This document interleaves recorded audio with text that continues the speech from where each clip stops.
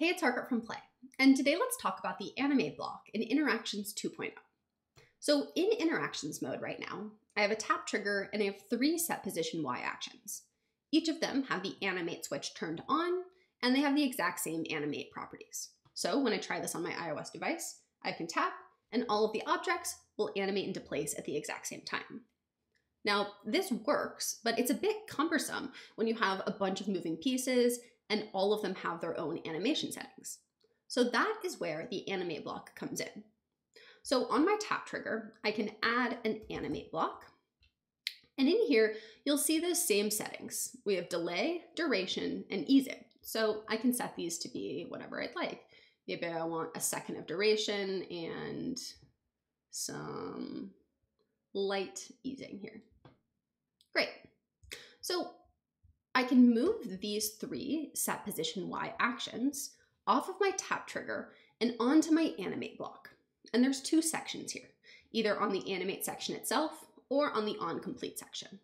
For now, we're gonna put it on the animate section and we'll come back to on complete in a bit.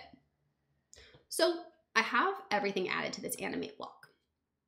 And when I tap, you can see it's still not following the animation settings of our animate block. It's still following all of these individual animate settings.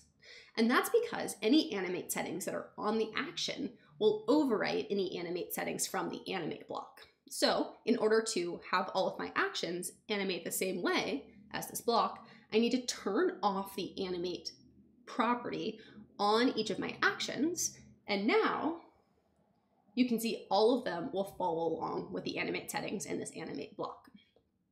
So if all of the actions on the animate block will animate according to the animation settings, all of the actions on the onComplete block will animate or not animate, depending on their properties, after this animation has completed. So in this case, we could add a reset all properties action to our onComplete. And maybe we'll make this the card, and I'll duplicate this two more times to reset the properties for all of the cards on our page, all three of them.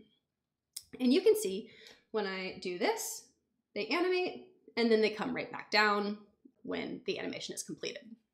And they also animate back in because I have the animate property turned on on all of these reset all properties actions here. And that's the animate block in Interactions 2.0.